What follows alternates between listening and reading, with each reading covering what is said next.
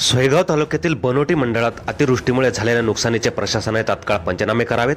नाहीतर बावीस सप्टेंबर रोजी हातात रुग्ण घेऊन शेतकरी तहसीलवर मोर्चा काढतील असा इशारा माजी आमदार हर्षवर्धन जाधव यांनी दिला आहे.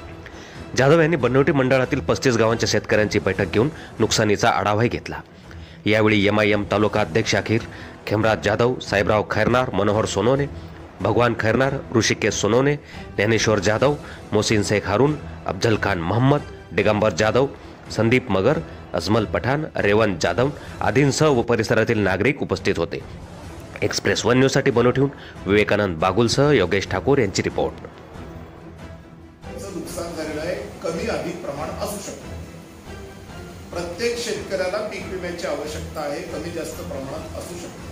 आणि प्रत्येक अशा घरी जी घर जे घर कमकुवत होतं कच्चं होतं ते घर घराची पडझड झालेली आहे त्यामुळे त्यांना सुद्धा मदत मिळण्याची आवश्यकता आहे. आता याच्यावर तांत्रिक दृष्टिकोनातून उपाय करणं हे आता खूप जास्त अनिवार्य आहे.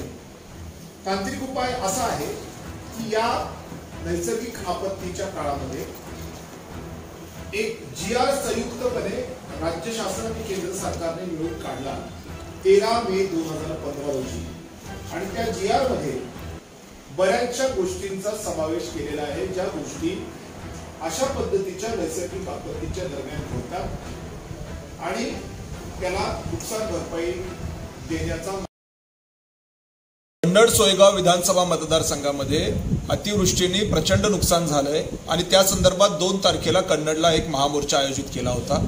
त्या अनुषंगाने कन्नड तालुक्यामध्ये सगळीकडे सरसकट पंचनामे सुरू झालेले आहेत. मात्र सोयगावमध्ये अजूनही सुरू झालेले नाहीत.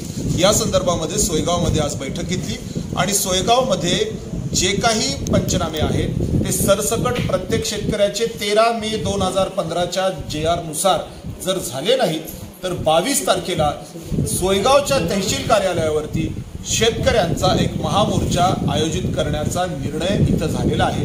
आणि त्यामुळे माझी विनंती आहे शासनाला की तातडीने सरसकट पंचनामे करण्याचे आदेश द्या आणि सगळ्यांचे पंचनामे करा. प्रत्येकाचा नुकसान तेहतीस टक्क्याच्या वर झालेलं आहे आणि तेरा मे दोन हजार पंधराच्या शासन निर्णयानुसार तेहतीस टक्क्याच्या वर जिकडे नुकसान झालेलं आहे त्यांना नुकसान भरपाई देणं अनुज्ञेय आहे. त्यामुळे सरसकट पंचनामे सुरू करा. नाही तर बावीस तारखेला शेतकरी रुग्ण घेऊन सोयगावला आल्याशिवाय राहणार नाही.